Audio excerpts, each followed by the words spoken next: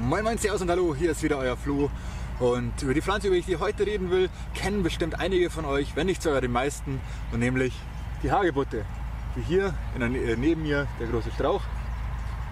Und sie wird auch Hexen, äh, Heckenrose, Hundsrose oder Wildrose genannt.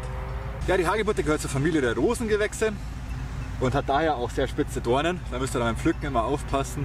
Und sie mag es sonnig bzw. halbschattig, wie ihr hier ganz gut sehen könnt. Steht mitten auf der Wiesen in der, in der Sonne und da geht es ja eigentlich relativ gut. Außerdem wächst sie an Waldrändern, bei oder in Hecken und bei manchen sogar im Garten. Ja, am häufigsten wird sie die Hundsrose finden und die kann zwei bis drei Meter groß werden. Und sie haben lange, bogenförmig überhängende Zweige, die hier nach unten dann quasi so reichen. Ich hoffe, ihr kennt das ganz gut. Es sind wechselständig angeordnete Blätter mit einem gesägten Rand. Also wie ihr hier kennt, hier ist ein Blatt, das nächste ist hier so eine Blattreihe, dann hier, hier und hier.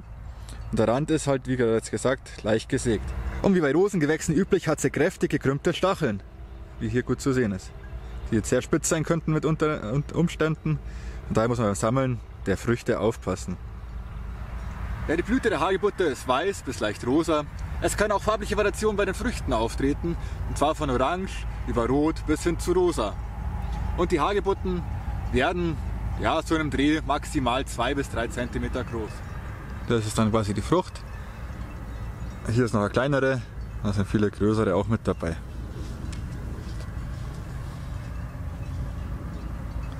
Ja, und der Geschmack der Hagebutte ist süß-säuerlich, aber umso später man sie pflückt, beziehungsweise auch den ersten Frost vielleicht schon abgewartet hat, umso süßer schmecken sie auch noch. Und man kann sie roh essen.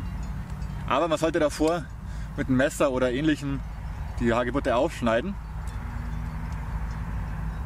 So. Stellen wir das mal so auf, dann sieht ihr das dann auch gleich. Und die Kerne entfernen. Die kennen wahrscheinlich viele von euch. Das sind die kleinen. Aber ihr kennt es da. Und es ist auch damals in der Schule ein beliebter Scherz gewesen, indem man es beim anderen hinten den Rücken leid tut, dann hat das übelst gejuckt. Und deswegen solltet ihr sie auch entfernen, weil es juckt nicht nur im Rücken, sondern auch im Hals- und Rachenbereich. Das kann Hustenanfall oder ähnliches auslösen. Weil die haben mini kleine Haare an den Samen, deswegen tut man die auch immer weg. Aber die Kerne kann man auch rösten und damit verbrennen die kleinen, äh, kleinen Juckhaare und somit kann man sie auch essen. Aber dazu später mehr. So, aber jetzt bei der Schale die Kerne weg. Hoppala. Ich habe jetzt bei der Schale die Kerne weg. Und die waren auch nicht ganz so weich. Aber schon relativ süß. Ein bisschen hart, da, ist, da fehlt mir irgendwie gerade das Mark bei der Sorte. Aber schmeckt gut. Richtig schön saftig und nach Vitamin C schmeckt man schon raus. Ja, bei der Hagebutte könnt ihr nicht nur die Früchte verwenden, sondern auch die Blüten, die Blätter, wenn sie gerade jung ausgetrieben sind, aber diese nur in Maß und nicht in Massen und halt wie gesagt die Samen. Und die Sammelzeit der Blätter ist von Februar bis April, die der Blüten von März bis Juli, die Samen von Juli bis März und die Früchte von Juli bis sogar Januar hinein.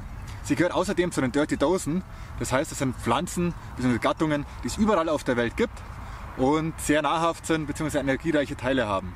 Bei der Hagebutte sind es halt die Früchte und die Samen. Ja, Verwechslungsgefahren gibt es eigentlich meines Erachtens nach keine. Es könnten halt alle äh, andere Wildrosenarten sein, aber die sind normalerweise auch nicht giftig. Ihr solltet aber allerdings darauf achten, dass ihr auch die Hagebutte als Hagebutte erkennt und nicht irgendeine andere rote äh, Pflanze pflückt oder Frucht, weil da könnten durchaus giftige dabei sein. Ja, die Hagebutte hilft bei Erkältung, Bronchitis, Frühjahrsmüdigkeit und bei der Stärkung des Immunsystems durch den hohen Vitamin C-Gehalt. Außerdem ist sie leicht harntreibend. Die Inhaltsstoffe sind Pektin, also Zucker, Vitamine, vor allem Vitamin C, wie ich ja bereits gesagt hatte, aber auch äh, Vitamin A, B1 und B2 sind in der Hagebutte enthalten. Außerdem sind halt in den Samen fette Öle enthalten und in den Blättern Bitter- bzw. Gerbstoffe. Nachdem man die Kerne entfernt hat, kann man die Hagebutte roh essen. Man kann auch einen Tee draus machen. Dafür verwendet man am besten die frischen Früchte, da der Vitamin C-Gehalt da noch ein bisschen höher ist und noch nichts verloren gegangen ist. Man kann sie alternativ auch trocknen und es wird auch in den meisten Früchtetees, die man zu kaufen gibt, angeboten und da sind die natürlich auch getrocknet.